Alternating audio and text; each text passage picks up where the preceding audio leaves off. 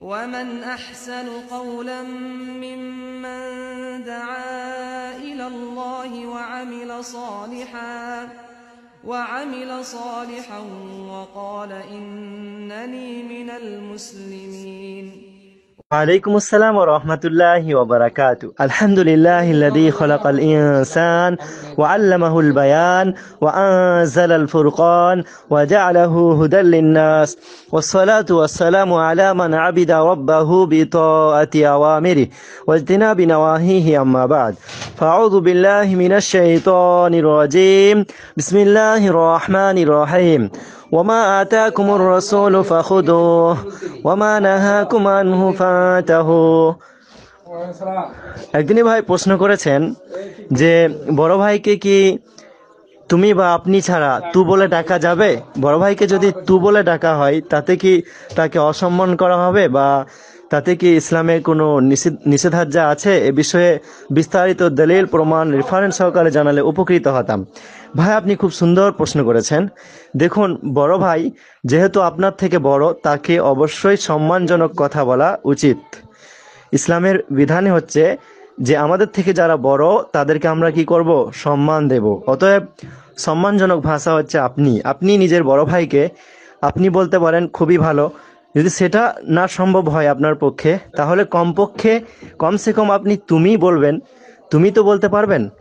এটা যদি না হয়, আপনি যদি বড় ভাইকে তু বলেন, তাহলে এটা অবশ্যই অনুচিত। আর এর দলিল হাদিসের গ্রন্থে স্পষ্টভাবে উল্লেখ আছে, যেমন, আমাদের একটা পবিত্র গ্রন্থ আল কোরআনের আয়াত বলি, মহান আল্লাহ পবিত্র গ্রন্থ আল কোরআন সুরাতুল হাসার সুরা নম্বর উনষাট আয়াত নম্বর সাতে বলেছেন, ওমা আথা কুমুর রসুল ফাহুদুহু আমা নাহা কুমান হুফান্তাহু রসুল্লাহ সাল আলী আসসালাম তোমাদের যা দিয়েছেন তা তোমরা গ্রহণ করো এবং তিনি যে জিনিস থেকে তোমাদের বিরত থাকতে বলেছেন তা থেকে তোমরা বেঁচে থাকো, দূরে থাকো। অতএব আমাদের লক্ষ্য করতে হবে যে এ বিষয়ে বিশ্বনবী সাল আলী আসসালাম আমাদের কি উপহার দিয়েছেন, আমাদের কি উপদেশ দিয়েছেন।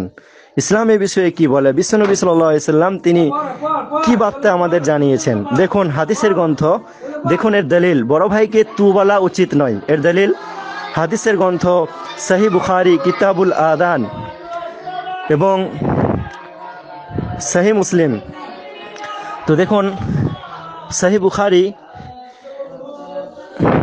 বাবুল আদান, হাদিস নম্বর ছশো এবং সহি বুখারি হাদিস নম্বর ছশো পঁয়ত্রিশ এবং সহি মুসলিম হাদিস নম্বর ছশো চুয়াত্তর। এখানে উল্লেখ আছে বিশ্বনবী সাল আলী হাসালাম বলেছেন, সল্লু কামার আইতুমনি উসাল্লি ওয়াইদা হাজারতি ফালিউদ্দিন লাকুম আহাদুকুম, সুম্মা লিয়াউম্মুকুম আকবারুকুম। বিশ্বনবী সাল আলী সাল্লাম বলেছেন যে, তোমরা নামাজ যে মতো পড়ো, যে মতো আমাকে পড়তে দেখেছ। ওইদা হাদারতি সলাতু আর যখন নামাজের সময় হয়ে যাবে, তখন ফালিউদ্দিন লাকুম আহাদুকুম, তোমাদের মধ্যে কেউ যেন আজান দেয় নামাজের জন্য আহ্বান করে। সুম্মা লিয়া উম্মুকুম আকবারুকুম, এবং তোমাদের মধ্যে ইমামতি করে সেই ব্যক্তি যে তোমাদের মধ্যে বড়। দেখুন, হাদিসের গ্রন্থ সাহি বুখারি, হাদিস নম্বর ছশো তেইশ এবং সাহি বুখারি, হাদিস নম্বর ছশো পঁয়ত্রিশ সাহি মুসলিম, হাদিস নম্বর ছশো চুয়াত্তর। তো এই হাদিসে আরও বিস্তারিত উল্লেখ এভাবে আছে যে, তোমাদের মধ্যে ইমামতি করবে সে ব্যক্তি যে, যিনি বেশি কোরআন জানেন। তারপরে কোরআন জানাতে যদি সম, সমপরিমাণ উভয়েই সমান হয়, তাহলে সেক্ষেত্রে তোমরা, তোমাদের মধ্যে ইমাম করবে সে ব্যক্তিকে যিনি কোরআন এবং হাদিস দুটির জ্ঞান সমান রাখে।